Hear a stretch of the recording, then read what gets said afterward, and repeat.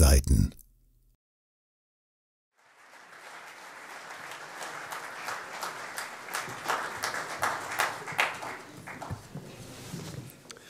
Schönen guten Abend. Ich soll herzlich grüßen von Sarah Wagenknecht. Sie bedauert es sehr, dass sie nicht hier sprechen kann. Sie hat mich dann aktiviert. Ich kann das zwar nicht ganz so gut, aber ich bemühe mich, sie ordentlich zu vertreten. Auf jeden Fall herzliche Grüße von ihr und weiterhin den Nachdenkseiten alles Gute.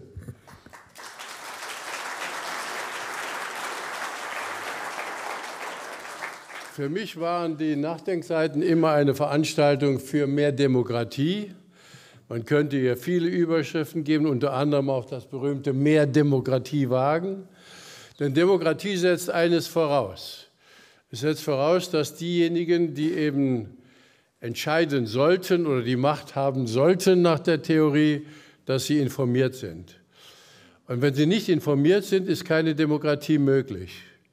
Und diejenigen, die Demokratie verhindern wollen, versuchen auch zu verhindern, dass die Leute informiert werden. Und daher ziehen sich diejenigen, die Informationen verbreiten, die nicht so angenehm sind, natürlich die Feindschaft derjenigen zu, die die Macht haben. Und auch in diesem Sinne haben die Nachdenkseiten für mich große, große Verdienste sich erworben in den letzten 20 Jahren. Und deswegen rufe ich alle auf, diese Arbeit zu unterstützen und weiterhin zu verteidigen.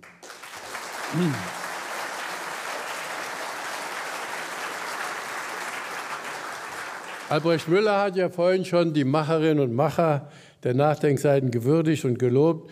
Ich möchte zunächst auch mal ihn loben, weil er hat Großes geleistet für mich, als Einzelner zunächst einmal ein solches Projekt sich auszudenken, dann andere zu motivieren und es über 20 Jahre in dieser Form aufzubauen, ist eine großartige Leistung. Du hast wirklich Beifall verdient, lieber Albrecht, an dem heutigen Tag.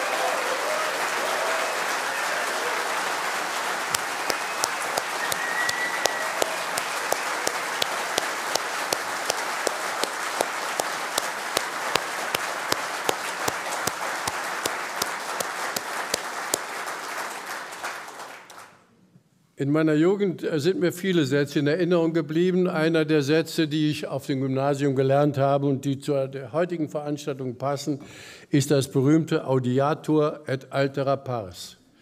Es werde immer auch die andere Seite, die andere Meinung gehört, denn ohne diesen Imperativ, ohne dieses Bemühen ist Demokratie eigentlich gar nicht vorstellbar. Denn Demokratie lebt vom Dialog. Und deswegen äh, würde ich sagen, die Nachdenkseiten sind nicht nur eine Veranstaltung für die Demokratie, sondern auch für eine, eine Veranstaltung gegen etwas, was sich in unserer Gesellschaft eingeschlichen hat und was sie für verheerend halten, nämlich gegen die sogenannte Cancel Culture. Ich halte sie wirklich für eine verheerende Entwicklung. Ich weiß nicht, ob denjenigen, die diese Kultur pflegen, eigentlich klar ist, was sie da veranstalten.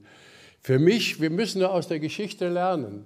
Wir müssen nur lernen, was passiert ist, wenn unbequeme Meinungen ausgegrenzt worden sind. Es gibt auch viele, viele Beispiele in der Geschichte. Man kann ja bei Galileo oder Galilei anfangen, der dann äh, ausgegrenzt worden ist, wahrscheinlich als jemand, der Querdenker oder Spinner oder was weiß ich auch immer war.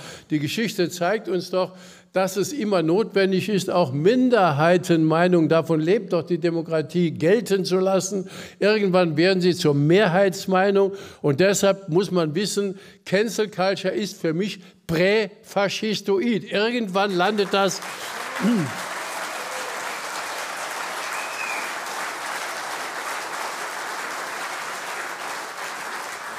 Irgendwann landet das bei der Bücherverbrennung und das sollten ja doch zumindest die Älteren unter uns nicht vergessen haben und sie sollten es immer wieder weitergeben an die Jüngeren. Und deshalb ist das Bemühen, diese Meinungsvielfalt doch aufrechtzuerhalten und immer wieder zu verteidigen, eines der wesentlichen Bemühen der, äh, der, äh, für die Demokratie. Die Nachdenkseiten sind gegründet worden, um Gegenöffentlichkeit herzustellen. Sie sind gegründet worden, als damals die Initiative Neue Soziale Marktwirtschaft äh, von den Unternehmern ins Leben gerufen worden ist, um ihre Interessen durchzusetzen. Es reden ja heute viele über Demokratie. Immer wieder wird viel über Demokratie geredet und manchmal hätte ich die Lust, diejenigen, die so reden, zu fragen, was ist das eigentlich, Demokratie? Erkläre mal, was du unter Demokratie verstehst. Oft ist es dann äh, die Antwort, ja, es gibt Wahlen. Wenn Wahlen sind und man kann jemanden wählen, dann ist das ja schon demokratisch. Also alle vier Jahre oder fünf Jahre Veranstaltung für die Demokratie, aber das ist ein bisschen wenig. Denn Wahlen werden ja überall so abgehalten. Was dann dabei rauskommt, ist etwas anderes. Ich halte die alte griechische Demokrat Definition, die auf Thukydides zurückgeht, er legte Perikles diese Definition in den Mund. Es hieß damals, er, er definierte, und das ist entscheidend, Demokratie vom Ergebnis her, nicht von der Form, vom Ergebnis her. Er nannte Demokratie eine Gesellschaft, in der sich die Interessen der Mehrheit durchsetzen.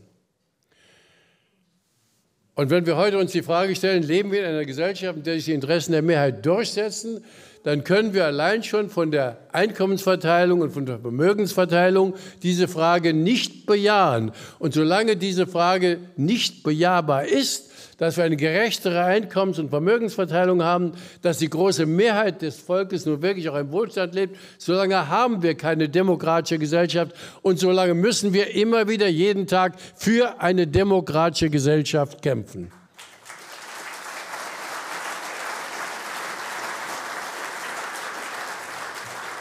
Denn wenn die Bevölkerung sagt, Geld regiert die Welt, dann würde das heute als Verschwörungstheorie diffamiert werden, nicht? Das ist ja wirklich eine richtige Verschwörungstheorie zu glauben, Geld regiere die Welt. Dabei hat einer der Herausgeber der Frankfurter Allgemeinen Zeitung schon vor vielen, vielen Jahren einmal gesagt, Paul Sethe, Pressefreiheit ist in unserem Lande das Recht von 200 Leuten, ihre Meinung zu verbreiten. Das heißt, er hat darauf hingewiesen, dass diejenigen, die eben das Geld haben, die Vermögen haben, dass sie auch in der Lage sind, ihre Meinung in der Bevölkerung zu verbreiten und durchzusetzen. Und das ist ja heute nicht weniger geworden, wenn wir an die Zeiten denken, in denen Paul Sethe äh, lebte nach dem Zweiten Weltkrieg, als eben die, äh, Demo, die Demokratie, die Bundesrepublik aufgebaut worden ist und das mit heute vergleichen, dann haben wir ja Konzentrationsprozesse, die enorm sind.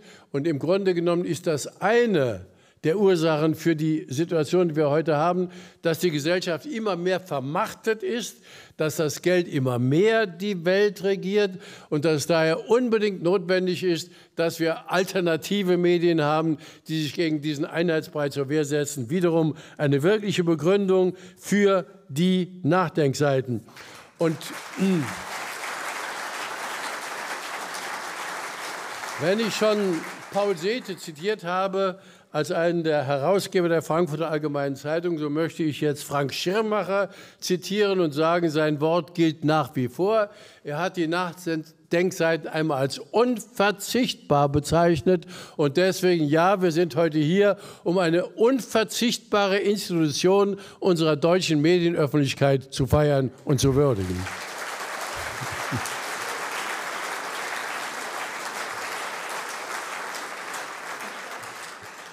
Gab natürlich auch immer Kritik an den Nachdenkseiten. Es gibt sie immer wieder. Albrecht Müller ist schon darauf eingegangen. Unter anderem gehörte zu ihnen Jakob Augstein, der eben auch einmal Kritik äh, geübt hat an den Nachdenkseiten, von Vorurteilen sprach, festgefügten Vorurteilen. Aber etwas später schrieb er dann, sie sei doch das linke Gewissen der deutschen Publizistik. Auch ein Titel, den man eben äh, erwähnen kann, wenn man über Nachdenkseiten spricht. Aber natürlich hat dann das linke Gewissen der deutschen Publizistik sich auch Gegnerschaften eingehandelt. Und eine der Gegnerinnen ist dann die Taz, die ein Jahr mal auch ein alternatives Medium war, auch einmal als Gegenöffentlichkeit aufgebaut worden ist. Und wo ist diese Taz gelandet? Wird nur ja niemals so wie die Taz, muss ich sagen, an die Adresse der Nachdenkseiten gerichtet.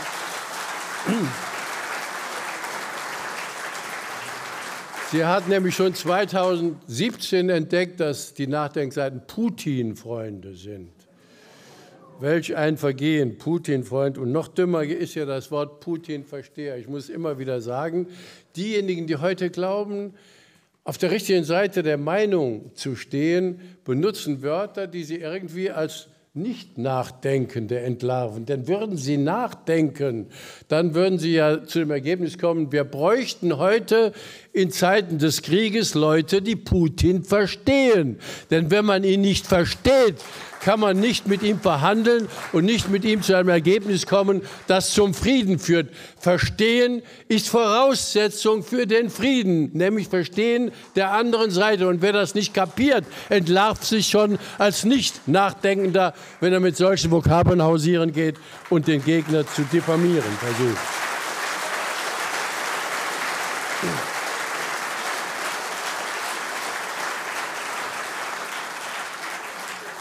Ich habe dann auch diesen netten Aufsatz eines Herrn Linden gelesen in äh, der Zeit Online. Und da möchte ich sagen, ich bin dafür, auch die Argumente eines anderen immer zu sehen, zu hören. Vielleicht hat er ja etwas Richtiges gesehen, man muss die eigene Meinung überprüfen. Aber wenn er mit dem Vorwurf eben der Verschwörungstheorie oder was weiß ich hausiert, dann sollte er sich selbst hinterfragen. Und Albrecht hat es ja angesprochen. Für dieses, wer für dieses merkwürdige Projekt der liberalen Moderne, also dieser beiden grünen Politiker, äh, arbeitet, die staatlich finanziert werden, mit dem Auftrag, eine kritische Gegenöffentlichkeit zu untersuchen und die dann letztendlich dabei landen, eine kritische Gegenöffentlichkeit zu diffamieren, zu diskreditieren, der sollte sich selbst hinterfragen, ist ein Kennzeichen von nicht demokratischen Gesellschaften, ihre Propagandisten zu finanzieren. Das sollte sich also der, dieser Herr dann hinter die Ohren schreiben und sich selbst kritisch hinterfragen. Ja, und dann wird dann auch noch angeführt, und äh, damit möchte ich dann meine Betrachtung dieser Mediensituation auch beenden, dass es hier einige gibt, die bei äh, RT gearbeitet haben. Zum Beispiel der vorhin gefeierte Florian Warweg, dass er schon mal bei AT gearbeitet hat. Ja, was ist das eigentlich für ein Kennzeichen einer Gesellschaft, dass sie eben das Medium eines Staates, der für uns wichtig ist, für den Frieden in der Welt wichtig ist, für die Durchsetzung vieler wichtiger Interessen bis hin eben zum globalen Umweltschutz wichtig ist, dass man dann dieses Medium diffamiert Okay, das geht ja noch, aber dass man es verbietet, das ist einer demokratischen Gesellschaft unwürdig, um das mal deutlich zu sagen. Einer demokratischen Gesellschaft unwürdig.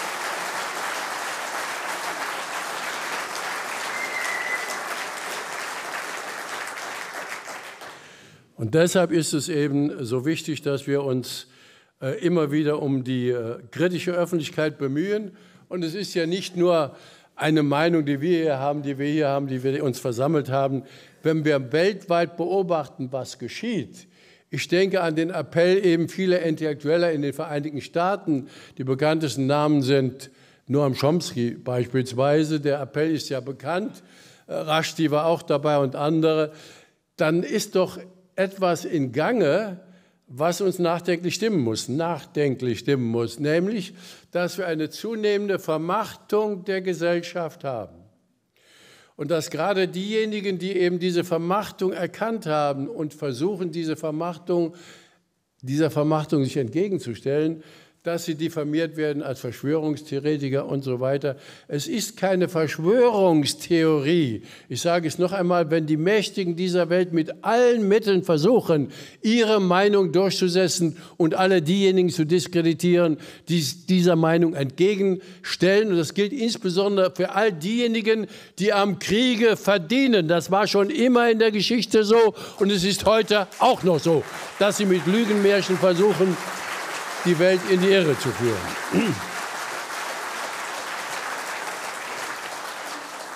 Und wir haben gerade in den letzten Jahren, viele Menschen haben in den letzten Jahren erlebt, an drei Themen, die ich nur kurz beleuchten will, dass sich eben in der Meinungsbildung der Gesellschaft, in den Informationen, die wir erhalten können, einiges grundlegend verändert hat.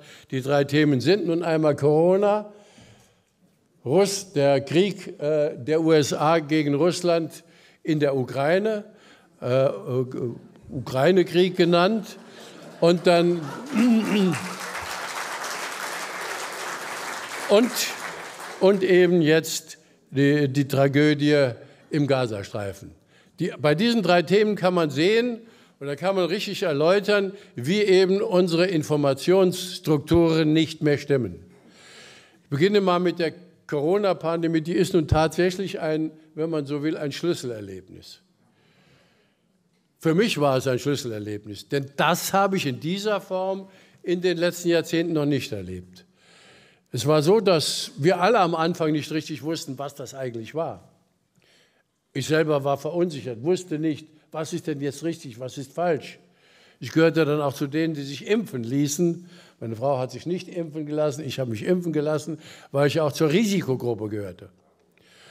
Und man hat ja irgendwie Angst, es könnte irgendwie schneller zu Ende sein, als man sich wünscht. Also ist man dann äh, angstgetrieben und lässt sich dann impfen. Man wusste ja nicht, was ist richtig, was ist falsch.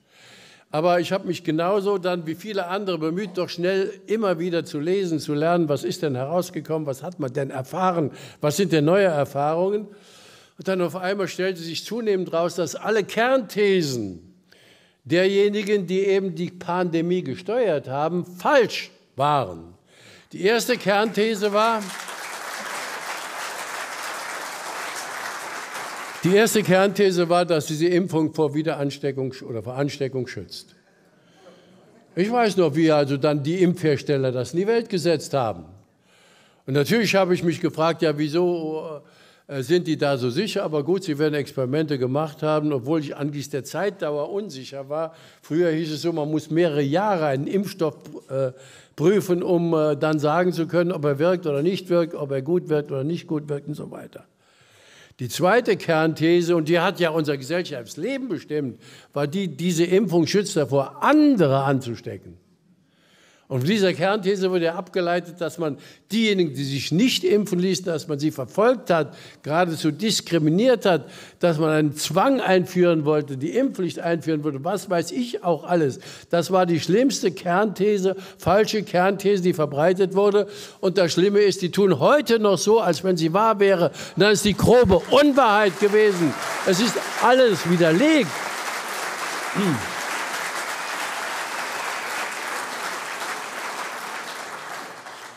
Und die dritte äh, These war dann, dass die Impfung nicht äh, mit, neben, mit äh, gravierenden Nebenwirkungen verbunden ist. Das hat ja insbesondere Lauterbach immer wieder vertreten. Nun muss ich eines sagen, wenn ein Mediziner sich ins Fernsehen setzt und sagt, es gibt praktisch keine Nebenwirkungen, bei einem Impfstoff, der noch überhaupt nicht erprobt ist, dann hat dieser Mediziner oder erweckt er den Eindruck, als hätte er im ersten Semester schon gepennt und sein ganzes Studium übergepennt. Ich muss das einmal sagen. Und es ist ein, ein, wirkliches, ein wirklicher Skandal, dass dieser Mann noch im Amt ist. Das ist.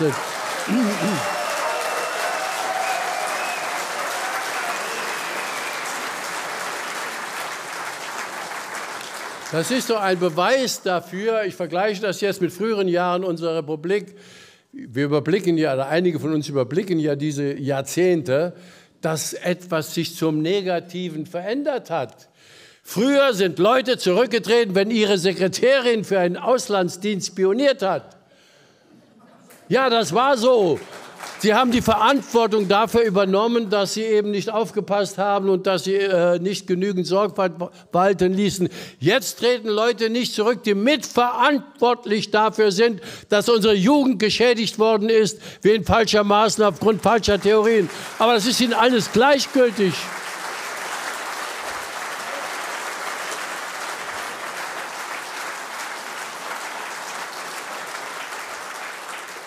Und wir wissen immer noch nicht das Ausmaß eben der gesundheitlichen Schäden, die hervorgerufen worden sind durch diese Impfung. Wir wissen nur, dass eine ganze Reihe von Schäden hervorgerufen worden sind. Das ist bereits durch das Experiment bewiesen. Darüber muss nicht mehr diskutiert werden. Aber genau dieser Punkt ist für mich wichtig. Es werden keine Konsequenzen mehr gezogen. Es ist nicht nur da, kommen noch auf andere Beispiele. Und dann kommt in diesem Punkt auch die Rolle und die fatale Rolle unserer Medien. Es war ein richtiger Einheitsbrei mit dem Ziel, die gesamte Gesellschaft hin auf die Impfung zu orientieren. Und die Medien haben völlig versagt. Es wäre ihre Pflicht gewesen.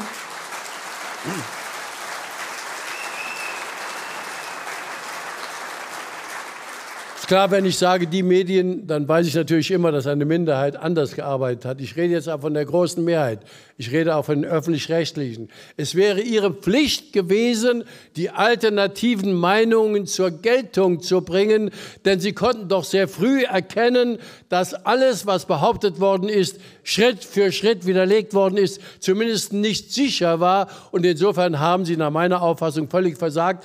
Und es spricht nicht für sie, von einzelnen Ausnahmen wieder abgesehen, dass sie nicht in der Lage sind zu sagen, mehr Culpa, mehr Culpa, mehr Maxima Culpa, dass sie nicht in der Lage sind zu sagen, wir haben uns geirrt, wir entschuldigen uns dafür. Das wäre das Mindeste, was man von den Leitmedien erwarten dürfte.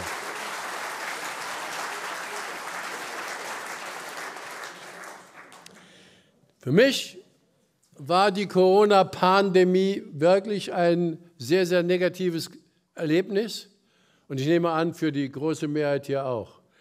Weil wir erfahren mussten, auf welch unsicheren Boden unsere Zivilgesellschaft steht. Ich hatte manchmal, ich hatte manchmal und habe das auch gesagt, den Eindruck, auf dem Höhepunkt der Angstmacherei und der Kampagne, wenn jetzt im Bundestag ein Antrag gestellt wird, alle Ungeimpften auf eine unbewohnte Insel zu verfrachten, der hätte vielleicht die Chance auf eine Mehrheit gehabt. Und solange wir, man solche Ängste mit Gründen haben muss, stimmt etwas nicht in unserer Gesellschaft. Und deswegen müssen wir immer wieder von neuem versuchen, die Fundamente unserer Gesellschaft zu begründen, unserer demokratischen Gesellschaft. Und dazu gehört Respekt vor der Meinung eines anderen. Ohne die kann eine demokratische Gesellschaft nicht funktionieren.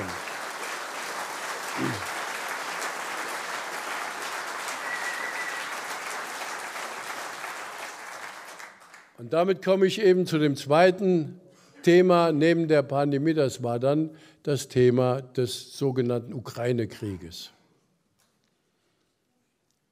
Das habe ich in dieser Form auch noch nicht erlebt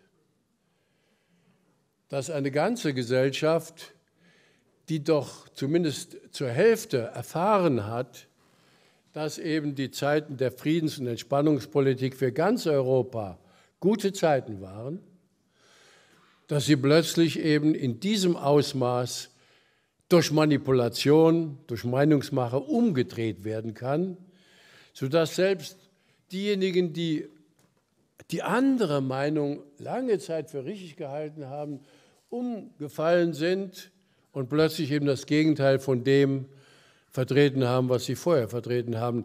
Das galt ja bis hin in die Spitzen der Politik. Ich denke beispielsweise an unseren Bundespräsidenten, dem ich gerne Respekt bekunden würde, aber wenn ich weiß, dass er seiner ganzen Politik gegenüber dem Osten abgeschworen hat und in das Lied derer eingestimmt haben, die den Krieg befürworten, dann muss ich sagen, dann zweifle ich manchmal, ob man diesem Mann Respekt gegenüber aufbringen kann. Man muss zumindest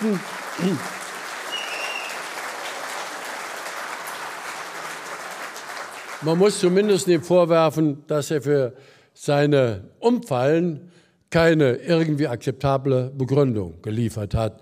Und das geht selbst bis zur ehemaligen Bundeskanzlerin Angela Merkel, die ja auch umgefallen ist und sich plötzlich für ihre Politik entschuldigt hat, die ja richtig war. Für ihre Politik eben nicht nur gute Beziehungen zu der einen Supermacht zu haben, nämlich zu den USA, sondern auch gute Beziehungen eben zu Russland, einer ehemaligen und jetzt wiederkommenden Supermacht zu haben, das war doch im Interesse der Bundesrepublik Deutschland, im Interesse Europas. Denn wenn ich schon Medienkritik geübt habe, dann sage ich mal, es ist doch ein Segen, dass es die alternativen Medien gibt, dass es das Internet gibt, wo man eben diese berühmte Rede des George Friedman hören kann in Chicago, wo er gesagt hat, es ist seit 100 Jahren unsere Politik, die Politik der Vereinigten Staaten, auch Kriege zu führen, um die Deutschen gegen die Russen aufzubringen, damit nicht deutsche Technik mit russischen Rohstoffen zusammenkommt. Ja, aus Sicht eben mal einer nur an Gewinnorientierung orientierten Gesellschaft ist das völlig logisch. Aber dann wäre es genauso logisch, dass wir sagen, dann ist es unser Interesse, dass wir alles dafür tun, dass deutsche Technik mit russischen Rohstoffen zusammenkommt. Das wäre das Simpelste, was man sich eigentlich klar machen muss.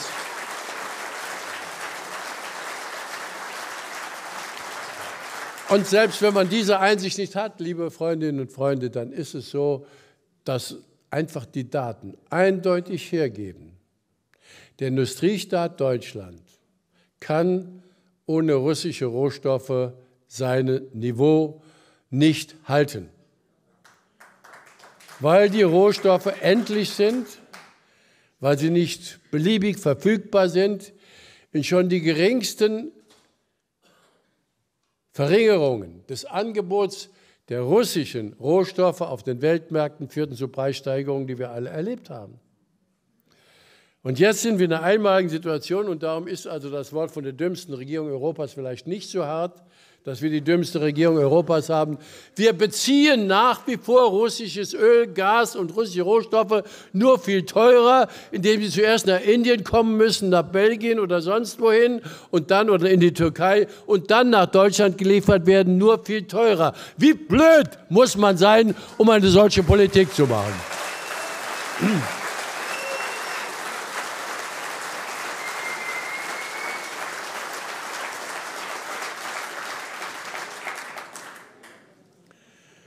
Wir haben doch erlebt jetzt gerade in dem sogenannten äh, Ukraine-Krieg, wie notwendig die sogenannten alternativen Medien sind. Denn nur dort waren die Argumente präsent, die man brauchte, um das ganze Spiel zu durchschauen. Ich habe George Friedman genannt. Noch toller, auch das kann man abrufen, war eine Rede eines Generals, der Mike Pence beraten hat, äh, im äh, entsprechenden Senatsausschuss. Er sagte, dieser General, es ist doch wirklich der Gipfel der Strategie, er meinte das positiv, dass wir unseren Rivalen Russland schädigen können, ohne einen einzigen US-Soldaten zu verlieren. Das muss man sich nur mal vorstellen. Das ist ja alles nachlesbar, nachhörbar. Man kann sich das ansehen. Warum steht das nicht in den sogenannten Medien, die doch verpflichtet sind, das Wichtige zur Urteilsbildung, zur Urteilsfindung auch zu liefern? Warum steht so etwas nicht da? Denn dann würde man sich doch die Frage stellen, Moment mal, was passiert da eigentlich? Da sagt eine Weltmacht, die den Anspruch hat, die Welt zu beherrschen, die einzige Weltmacht zu bleiben, wir schädigen jetzt einen Rivalen und haben das so geschickt veranstaltet, dass äh, wir keinen einzigen US-Soldaten verlieren. Wir verdienen ja noch gewaltig daran, denn gewaltige Lieferungen von Waffen aus den USA überschwemmen jetzt auch die europäischen Staaten. Die zahlen dann kräftig. Und deswegen sind die Gewinner dieser Veranstaltung, wenn man von Gewinnern überhaupt reden kann, diejenigen, die eben an diesem Krieg verdienen, in erster Linie die Vereinigten Staaten, die auch noch jetzt das Russengas durch ihr eigenes Frackinggas Zug um Zug ersetzen.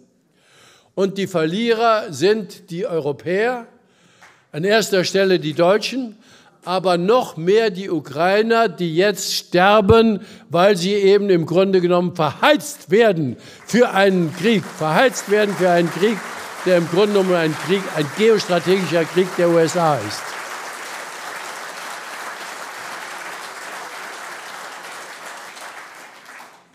Und das ist das Erstaunliche. Jetzt haben wir fast zwei Jahre diesen Krieg. Und zwei Jahre haben wir jetzt gehört, dass Waffenlieferungen der Weg sind, um die Ukrainer in eine bessere Situation zu bringen. Hier können Sie ja schon die Perversität der ganzen öffentlichen Debatte erkennen. Die Ukrainer in eine bessere Situation zu bringen. Da sterben täglich Menschen. Und zwar nicht nur Soldaten. Und dann sagt man, wir müssen Waffen liefern.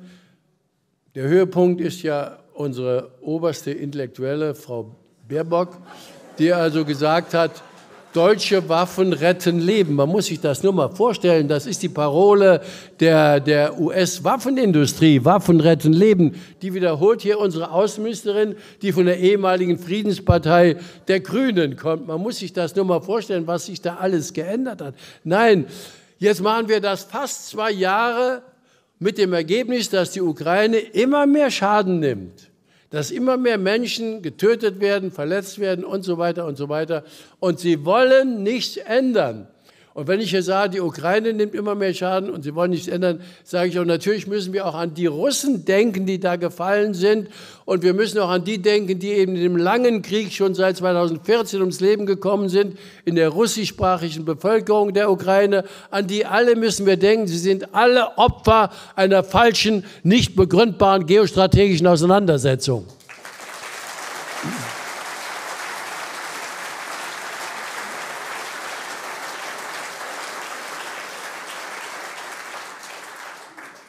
Dass das eine geostrategische Auseinandersetzung ist, dazu gibt es unzählbare Zitate und Aufsätze in der US-Literatur.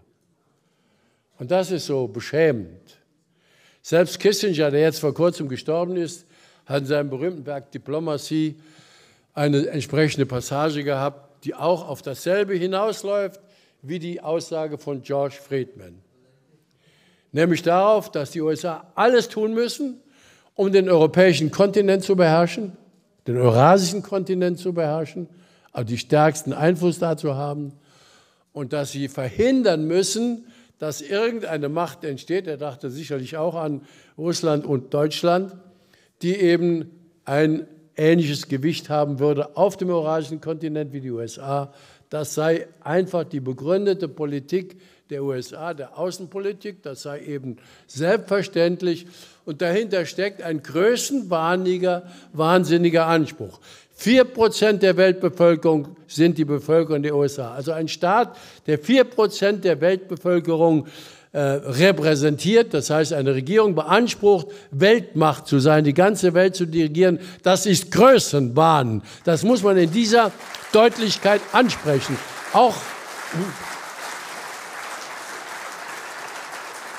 Auch dann, wenn das ununterbrochen in ständiger, täglicher Propaganda den Leuten serviert wird, dass das notwendig sei, um den Frieden auf der Welt zu bewahren. Ist auch etwas Erstaunliches, dass das Land, das die meisten völkerrechtswidrigen Kriege geführt hat, das in der ganzen Welt Militärstationen hat, das den höchsten Kriegshaushalt der Welt hat mit riesigem Abstand, dass dieses Land eben bei weiten Teilen der Bevölkerung immer noch als Friedensmacht äh, gilt. Da sehen Sie die ungeheure Wirkung der Propaganda. Und da sehen Sie, ein welch genialer Schriftsteller George Orwell war, der schon eben vor vielen, vielen Jahren geschrieben hat, wenn die Lüge oft genug wiederholt wird, wird sie zur Wahrheit.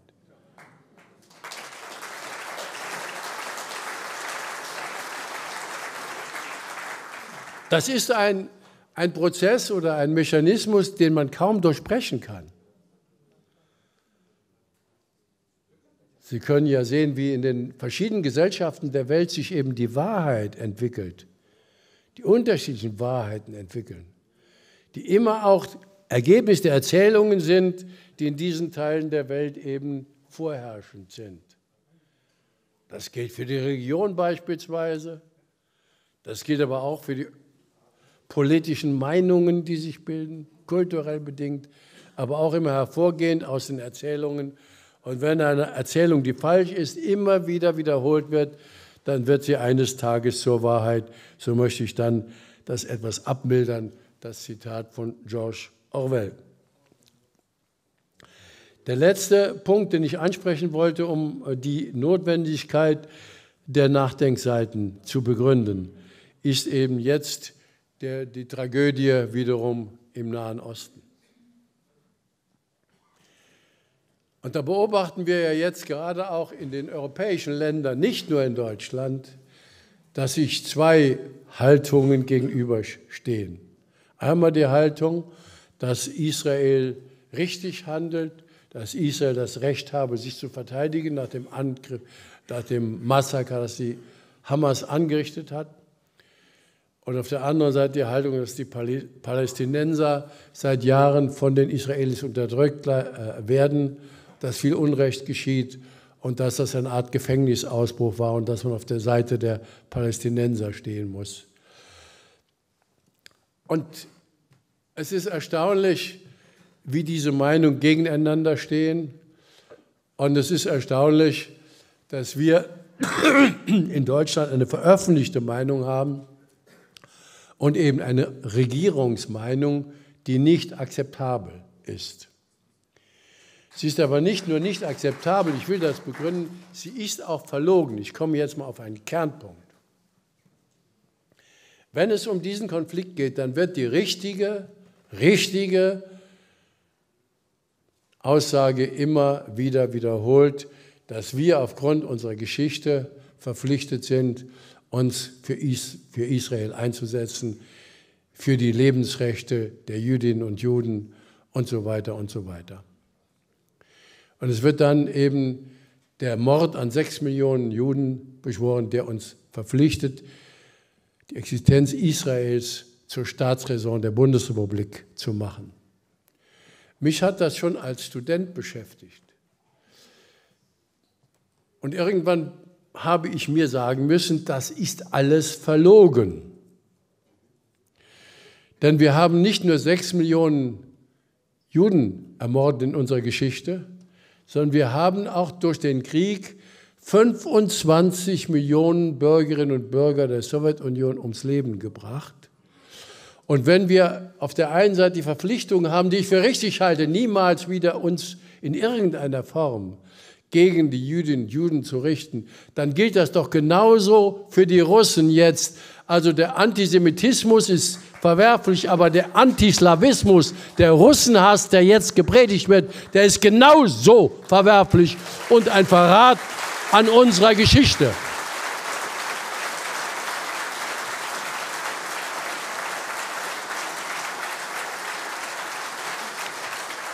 Für mich gibt es nämlich eine Lebenserfahrung. Wenn man Mitleid hat mit den Menschen, die leiden und ums Leben kommen, die gequält werden, die gemacht werden, dann gruppiert man dieses Mitleid nicht nach Nationen, nicht nach Religionen. Es gibt, es gibt da eine einzige Wahrheit, auch wenn immer die Babys äh, äh bemüht werden. Das war jetzt auch wieder so. Ich denke da immer noch an die Brutkastenlüge. Der eine oder andere wird sich erinnern. Immer wieder versucht man das. Aber wenn man mit Babys Mitleid hat, dann doch mit allen, die ums Leben kommen. Ist das denn so schwer zu begreifen?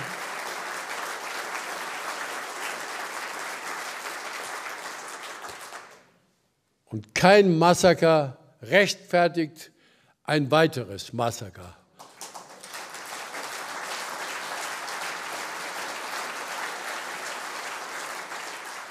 Und deswegen freue ich mich, dass es wenigstens jemanden gibt wie Antonio Guterres, der immer wieder versucht, als UNO-Generalsekretär jetzt deutlich zu machen, dass das nicht geht, was da im Gazastreifen passiert. Aber es geht jetzt nicht nur da, das, darum, das eine und das andere zu betrachten, es geht noch um mehr. Wir wollen doch Frieden in dieser Region. Wir wollen zum Frieden beitragen. Und manchmal muss man auch Menschen schützen, den falschen Weg zu gehen. In diesem Fall gilt das eben für die Israelis, die ja eben auch eine Regierung haben, die man ablehnen muss. Da sagte ja selbst der ehemalige israelische Botschafter hier, Shimon Stein, dass das eine halb faschistische Regierung ist. Derjenige, der fürs Westjordanland zuständig ist, der Minister nennt sich selbst einen homophoben Faschisten. Er nennt sich selbst so. Da kann es doch nicht richtig sein. Oder der Verteidigungsminister spricht von menschlichen Tieren im Gazastreifen. Das ist Faschismus. Und deswegen muss die Welt aufstehen und muss eben sagen, stopp,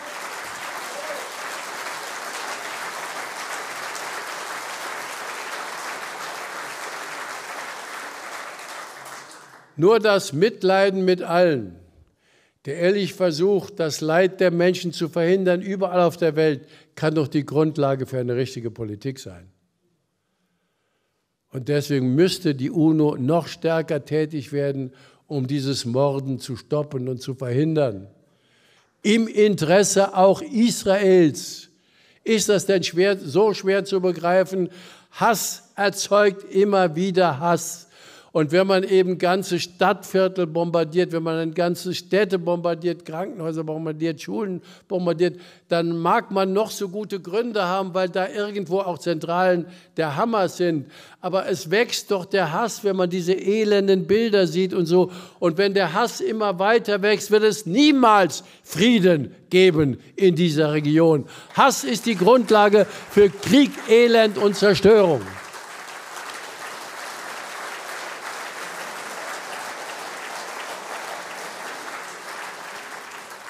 Dann muss ich wieder sagen, ich beobachte das, was öffentlich diskutiert wird, was die Medien schreiben, immer wiederum mit einigen Ausnahmen.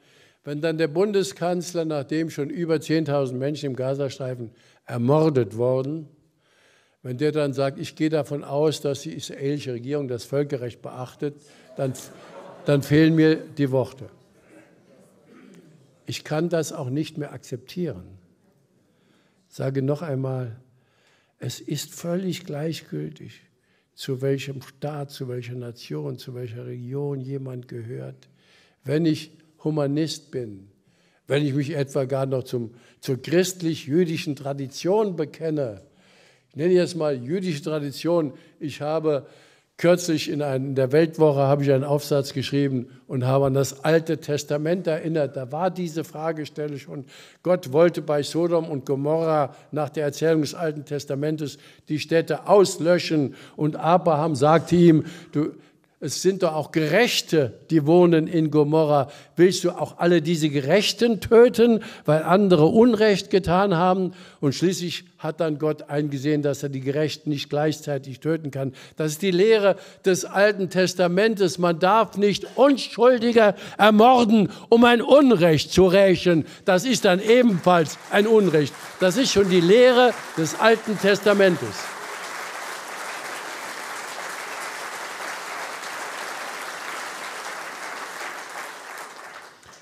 Und deswegen äh, müssen wir immer wieder erkennen, dass zwei Dinge Voraussetzung sind, zu einer besseren Gesellschaft zu kommen. Einmal die Wahrheit und Wahrhaftigkeit, das Bemühen um Wahrheit und Wahrhaftigkeit.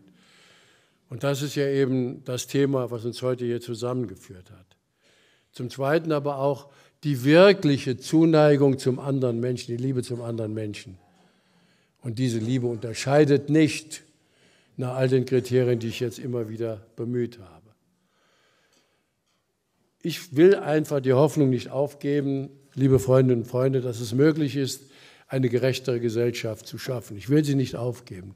Ich will auch die Hoffnung nicht aufgeben im Interesse, ich habe Enkel, unserer Kinder und Enkel, dass es vielleicht doch mal möglich ist, eine friedlichere Welt zu schaffen. Ich weiß, dass die Menschen so wie sie sind, so wie sie sind, Sie können viel Gutes tun, sie können auch Verbrechen begehen.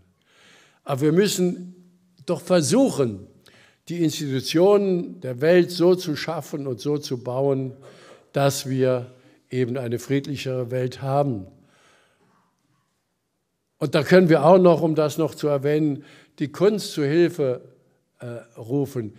Mich schmerzt mich regelrecht, dass jetzt Künstler ausgeladen werden, die nicht die Meinung derjenigen haben, die im Moment eben über die Hallen verfügen oder die im Moment eben über die Gelder verfügen, jemanden einzuladen. Welch eine Fehlentwicklung. Die Kunst kennt keine Grenzen. Die Musik verbindet die Völker. Wie kann man auf die Idee kommen, jetzt Künstlerinnen aus Russland beispielsweise oder auch aus der arabischen Welt auszuladen, weil sie eben zur falschen Nation oder zur falschen Kultur gehören. Was ist das eigentlich für eine Welt?